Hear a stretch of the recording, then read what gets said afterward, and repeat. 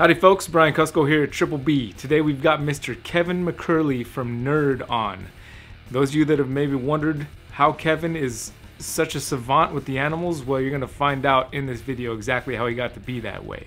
I've been looking forward to putting this video up. It's been tough to make it go in the order of all the videos that I've recorded. I kind of wanted to push to the front because I really enjoyed this interview. But here it is, finally. You're watching Triple B TV.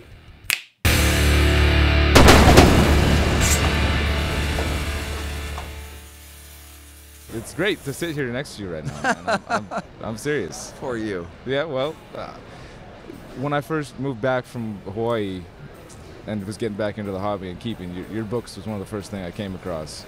And, then, and your videos as well, actually. My bubblegum videos. my iPhone 3. Look, there's a cute monitor. Then, oh, look, three people looked at it. It's awesome. And, and I got three thumbs down. no. That's that's mild three thumbs down now. Uh, no, no. I'm now. I think I'm. I have a, I have a good solid ten or what. It's, it is funny though. I could literally have like a cute little kitten in a white room, and it goes, and then I'd be like, within the first like day, I'd be like getting some thumbs down. It's like a kitten or whatever. But like baby dwarf came in, thumbs down. Well, I've come to learn that a thumbs down is a good thing. I it doesn't. I just do the little switch where I want to like retaliate when people like say crummy things to me, and I'm like, and then I'm like, okay, Kevin, just be passive, and I just passive, and I'm like, I can't even engage them because I'm fighting with somebody I'm never gonna be able to change their opinion. Yeah, that's a that's a, probably a safer, a smarter way to do go about you're it. You're just a greedy breeder, and you're making all the money, and and I'm like, where is it? Rolling in your Rolls Royce and private jet. it's so not.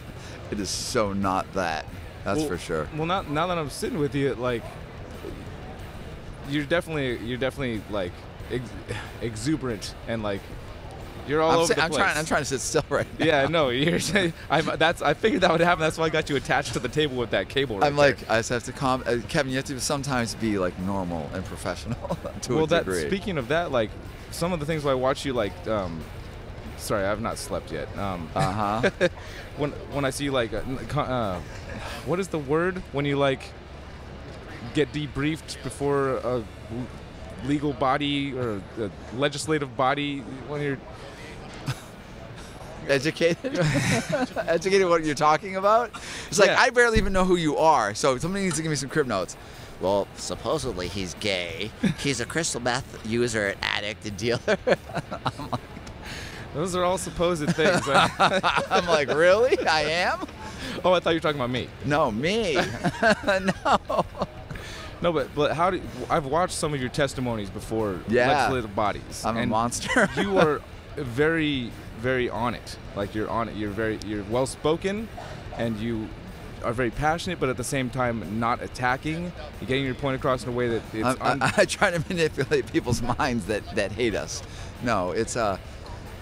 So, I think like the first couple times I did it, I kind of was like, okay, what am I going to talk about? And I kind of try to like prepare myself, and I became like befuddled with like, there's so much stuff I want to say, and then I'm listening to everybody else. They're sitting down, they got this, hello, uh, chairman, thank you for being here. Whatever they do, this whole thing, and it becomes um, the dynamics are I think are gone. It's just because they're trying to be very careful and calculated about what, they're saying because it is Sure.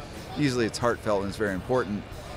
But I have a lot of stuff to spit out. But as I sit there and I listen to other people talking, and then I hear you know uh, the Senate or the House speakers, whatever, and their, their things that they're talking about, or the um, representative that is proposing the bill, and hear what they're saying. So as soon as they start saying their gibberish, I like make a mental note of everything that I'm that they're saying that I want to challenge.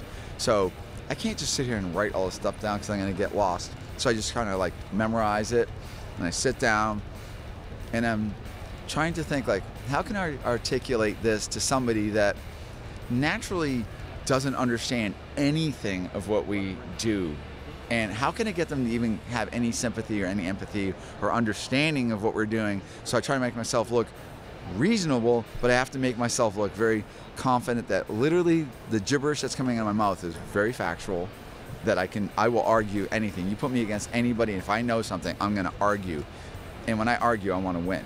So when I'm sitting down there with them, same kind of thing. I have to be kind of confident, but I can't talk down to them or you know not that i have any right to but i, I, want to like i want to make a connection with them. So i noticed the last thing i went in front of like uh, the house committee that was in new hampshire and they, they were like doing this. They're all like you know listening to all these people.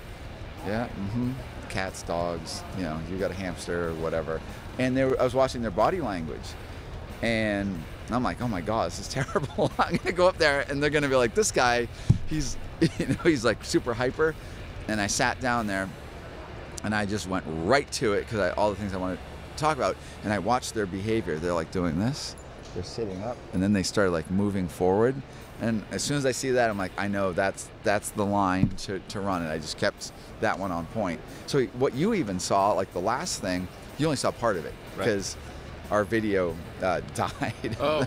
so I went I went on for like another 20 minutes. I went to the point where when I left, I did the Senate and I did the House committee. When I left the House committee, one of the members of the House came out and the woman tracked me down. She's like, "You're not leaving, are you?" And I'm like, "No." She goes, "Wow." She's like, "You know, you're amazing. Like what you know and what you were saying." She goes, "That was so good."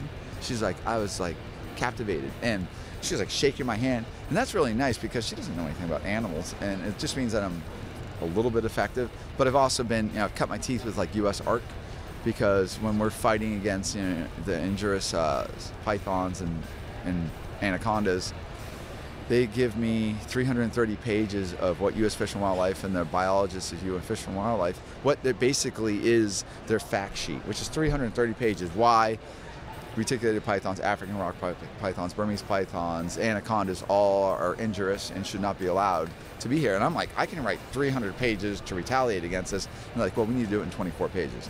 And then you have to go and integrate with the attorneys, and they don't know anything, so you have to educate them.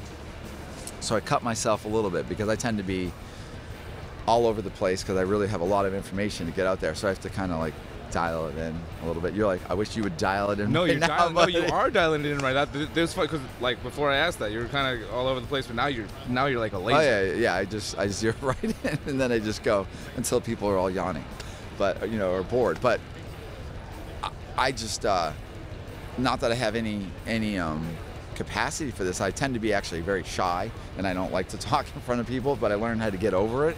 And you know, but be a musician playing in front of people. I remember like used to do that. I'm like get up on stage, and I'm like, this isn't even me. I feel like this is like a dream. And then it's like I'm supposed to sing and play leads and play all this kind of complicated You music. shred, man. You Thank shred. you. Anybody who hasn't watched this guy shred, you shred that guitar. Thanks. Um, yeah, but it all helped me come out of my shell. So, because I was, you know, kind of a little bit introverted, playing with bugs. That like I people hear me and I say, oh, I learned this all because I play with bugs. But literally, my skill set for what I do with like the nuances of understanding animals is because as a kid, my brothers and the neighbor up the street would like to catch me and torture me. And they were like, you know, they were like, they had this hand generator. My brother had this hand generator, and he would handcuff me to a green chair, and then put the clips on. And they go, and I go great because they were electrocuting me. And then the friends would come over, let's go catch Kevin. And so they would do that kind of stuff. So I would start hiding in the woods, and I was playing with bugs. So I was like, you know, bugs and salamanders and bees and ants and stuff like that. It's a safe place to be away from. But I was literally, no, it was, I mean, looking back at it, it's like, yeah, whatever, it made me tough. But it just, um, I started just like appreciate like, like these little things. That's all I had, you know, you had like bugs. So I was like playing with them and I, I was fascinated by them. I'm still fascinated by bugs. And then I just got into fish and then I was catching garter snakes. And then I just, it, the whole thing progressed. Do you ever find that the handling of bugs and seeing their behavior does that help with the monitor stuff? Because you, you monitor everything. It all everything, ties together. Everything. So I, I sit there and I was really um, fascinated by praying mantis, and so I would keep praying mantis longer than they normally would die. And uh, I had a praying mantis for like over a year, and uh, that's a really smart little bug. I'm fascinated by like bees, even you know horn. I'm allergic to like you know yellow and stuff, but I'm still fascinated by them. But uh, like jumping spiders and stuff like that, these things are genius. Like a jumping spider, how can this little thing you like walk over to thing, the thing's like looking up at you? Oh look, it's a giant monster. Here, have a bug, and the thing like okay, and it's I don't know how they, they can do that because if you look at the scientists say that the neuron cluster the honeybee has is so small that it does not have the capacity to learn, that everything's born inherent, you know? And the fact is they showed that a honeybee can learn. They can they can re-engineer, you know, where they you know, honeybees are they don't go across water generally to find food and they took you know, they, they showed that they could, you know, recondition that honeybee now to go across the water to get the food and then goes back to the hive, tell the other ones and they're all going across. I mean, so they're, they're learning all these things. And uh, with the monitors, which are just literally genius. When we look, you know, naturally, if you're into reptiles, you go, oh, look at a monitor. It's really reactive. It's, you know, looks smart. But that's only the beginning of it. And then you start realizing how quickly they can, they assess things. They can look, look around. They take them out and they look around, and within literally seconds, they've assessed a lot of things. They, they're looking around for danger. Oh, I see the head of a big monitor. I'm a small monitor. All of a sudden, they're like, I'm on point. And then all of a sudden, it's like, oh, there's a stranger and all this different stuff. And it's like, how are you able to do it? You're a reptile. You're cold-blooded. You're supposed to be slow thinking. So I, I was uh, rather enamored with that. And then I take the same thing to snakes, obviously other lizards, you know, tokay geckos, uh, dwarf caiman, all that kind of stuff like that. So I just kind of see what you might not normally see. It's just because I'm just like staring at it and I'm just kind of watching it. And I always have the saying, like, see them for what they are, not what you think they are. Because you, you know, if you judge somebody, you know, just like like a stereotype. So I have long hair. Oh, he, he does, you know, he's a drug addict or whatever, or, or, or whatever it is. And if you just, you know, you go, okay, you know, he is that, and then that's it. They shut and shut you down. They don't realize what you are. But generally, when I meet people, you know, you can just look at anybody and you know you suddenly you know you're like wow i was wrong or about this or wrong about that same thing with these animals i just see something in them but look at them for what they are. So take the time and let the animal do what it does. And i know this is long-winded but when you do reptiles i always have this thing look at them in modes. So they have modes. So they're sleep mode they're fear mode they're uh, wanting to eat mode, like let's say like a reticulated python, hands, you know, it's like, uh, and then thinking mode.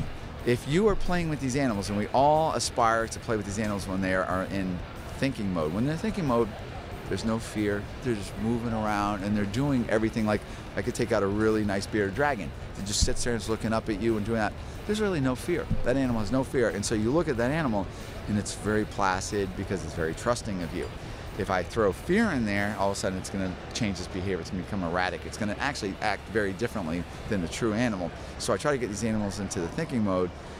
And a lot of times people, when they're interacting with their animals, they're never considering any mode. They're just just doing this. Oh, this one's this one's skittish. Oh, this one's this and this is like, okay, but did you actually get it out? So a lot of times people can give me snakes that are kind of crazy or whatever, and I'm like, very quickly I can get it right out of that mode. And they're like, oh, that's really weird or whatever. I can catch wild animals too, and you you do that. You just basically you teach these animals very quickly because they are capable of learning, and actually sometimes learning pretty quick. You just teach them that don't fear me, and then like think. So like a rattlesnake, I do timber rattlesnake stuff, and uh, so when you go up to a rattlesnake and it's sitting underneath a rock or sitting on the edge of a rock, if you go up to it, if I come up really fast, I'm gonna put it into fear mode. So now that animal's just in fear, so it's, it's gonna wanna go and hide. So if you go up there and it's resting, and I go over there, let's say use a snake hook.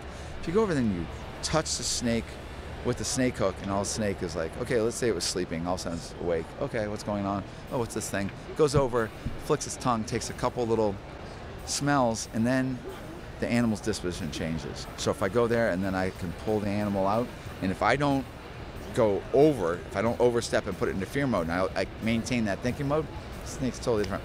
I, I used to go and pick up, you know, timber rattlesnakes, just just free handling, them, and I could have no rattling, the whole kind of thing I do with even with the researchers. They're like, okay, go do your thing, and then pull them out, and they're like, how the hell are you doing that? But it, it's uh, if you handle these animals mechanically without, you know, they're not coffee mugs. So if you go in there and you just, there's a snake, hook it, drag it out, da, da, da, you're never actually allowing the animal to catch up to actually what's happening. So I just do that with my captive animals. Slow, aware movements. Yeah. based on what they're doing and what And- you're reading off of them. in reading behavior, snakes a lot of like there's there's different levels of intelligence I view with snakes, and I'm sure I'm, I'm wrong in many ways, but I have like you know let's say like a, a king cobra is a genius, uh, a reticulated python is really smart. Um, I think a lot of blood pythons and short tail pythons are smarter than we we know, and that's why they're tend to do these little spastic things because if something bad happens, those little guys remember it. they don't forgive. It's really kind of crazy and they explode. But that's a great snake where you watch somebody who's good at handling them and has finesse can manage them, no problems. And you get somebody else that's like, take hook, pick snake up, move, snake explodes. it's like because there's no finesse at all. So I think it's, you know, we, we have different mindsets with these snakes and different levels of intelligence, but they do show you a lot. And the monitors show a ton of what they're thinking just by their body language. And I watch tongue flicks on snakes a lot. I watch, you know, just movement, certainly tongue flicks and behaviors on monitors. And then I take that and I can pretty much put that towards so many different animals. And I, I just was, you know, I taught myself this because need to know how to, how to interact with this crazy retic that came out of the wild and that thinks I'm going to skin it. And I'm like, I can't go and grab behind its head. If I grab behind its head, I'm never going to have any rapport with that animal. So my they're caught in the wild. man. Right. Now, Well, they're- they're- getting skinned. Yeah.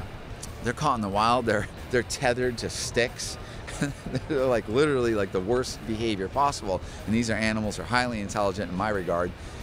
They have a memory. They don't just they're not like yesterday I forget. You know, they they like remember. So you have an animal that like learns how to get out. You take it and put it back in that cage, and the animal's right back there. It might have taken me four months to figure out the magic way to get out of the cage. Now they're right there, and they're just going to do it. And then you could put it in a different cage, and then bring it back. You know, a month later, it goes right back to it. It knows, and it's like, how can you be so smart? But they are for them to live and for them to succeed. So very cryptic animals that hide all the time, maybe not the smartest. Very animals that are active hunters that are out there and moving around. They have to be sharper. They have to be more intuitive. They have to be able to manage a lot more dangers. They can't rely just on you know uh, hiding under a rock and coming out and you know or whatever. So I, I just see these little things, and it's I don't see a lot of other people that talk like this. But now that I'm talking like this and I do my little you, YouTube stuff, I'm like, I came to this show and I've been under a rock for a while. So I come to the show and everybody's like just coming up to me saying all these wonderful, things, and I'm like, wow. Because you know I read my comments sometimes in the beginning, and I try to comment back because I get so many nice people that say so many nice things, and then you see these people like I'm taking what you're showing and da da da, you're my favorite, and I love all this different stuff, and it's cool because now you can go, oh wow, because you don't realize, I didn't realize a lot of this stuff until like Rafi was filming me, you know, uh, M.A. Balls, uh, Rafi Martinez, Yeah. and uh, he was like, look at all these ball pythons, and you know, I wasn't even like, I was just like my own little world, and like, I just want to make these ball pythons for myself. Yeah, we'll sell some, stay in business, but he's like, you need to show what you do. And then he's like looking at the monitor stuff. And uh, when I started showing my monitor stuff and I started going out and doing videos, the other monitor keepers hated me. They were losing. They're like, this is trickery. He's making them cold.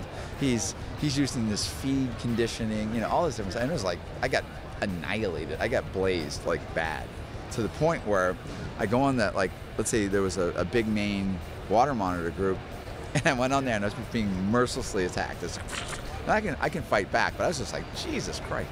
So I ended up starting my own monitor group because I'm like, yeah, fine, you guys suck. And then I went and made this this monitor group. So I have like you know Urban Dinosaurs, like 20,000 members in that, and that I can just curtail or do it to the way I want. No live feed videos, you know, because I try to be responsible about you know how we are Other animals. I, I have a great empathy for other animals, including rodents, and I do not like people that that like to torture animals at all. It really it bothers me. It makes me it makes me really it makes me pretty bad because then they'll have to deal with like if I have to engage these people face to face and like you're like cruel to animals, I don't think I can keep my mouth shut. I keep my mouth shut now, so you can ask me a question. no, I think uh, I mean you did a great job of answering a lot of the questions I had without having to be prompted, which is fantastic. They like me on podcasts I love when people do that. Yeah. Podcast it, just like ask, say two things, Kevin. Oh, an hour and a half just went by. I'll ask fantastic. myself my own questions. No, that, that was that was perfect. I, I have I mean I'd like to talk with you further in the future. I'd like to stay in contact 100% like going forward here. But as far as this video is concerned, you you just gave us some gold. So Thanks again, Kevin, for taking a moment to sit down with us. I hope all you folks at home enjoyed that and got a little insight into exactly what makes Kevin tick there. I'm looking forward to coming out and spending some time with you guys once all this stuff blows over and getting some jamming on. There's going to be a link down in the description for those of you that don't already know about the Nerd channel, and there's also going to be a specific link down there so you can see my favorite video from his band Crotalus. Next week, we're going to be talking with Mr. Kevin Blufort about the origin of the Kiki Ball. And until then, you've been watching Triple B TV. Y'all take care.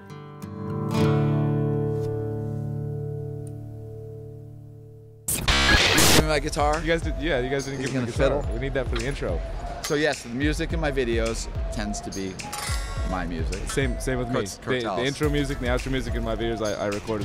I'm a musician as well. I played professionally for 12 years, so Yeah, you were you were talking about like you tour or whatever. I toured for a long time now. That's a that's a tough racket. Yeah, it is. Not conducive to family life. I want to come out and see you guys sometime on the East Coast, and and if we could jam at some point during that little trip, that would be fantastic. So you play guitar? I play I play guitar, I play drums. I started playing piano when I was seven, and then just music. Very professional musician. I know, I know. like I've heard him play. ridiculous. I've heard him sing. I've heard him uh, scat. You gotta hear me scat too. That was easy. Yeah. That was painless. I don't know. I don't, I don't like to. I don't like to bring people over. about. Then last thing I want to do is cause somebody pain. It's like I didn't get to ask him any questions or anything. He just yapped. I didn't get to play the move. He's gonna be like, all of a sudden, like we're, we're interviewing Elson. So Kevin, why did you start ball python cruelty with the spider ball gene? Dun dun dun. I'm gonna get. That actually was my first question. Do I got red lights on there? I'm not cool enough to have somebody else paying attention to that. Make sure that these things are actually recording before I uh, do what this looks like he's got quite the rig. Double pimped out Canon cameras. It looks like I've got a rig. It's just a. It's all a facade. There's like Sarah McLaughlin music, McLaughlin or whatever. Some horrible, sad HSUS commercial about puppies and kittens that make me cry. Those commercials all, I can't watch. I don't those. know how people are so accurate with their uh, observations of what I'm really doing over here. That's pretty on. That's pretty spot on.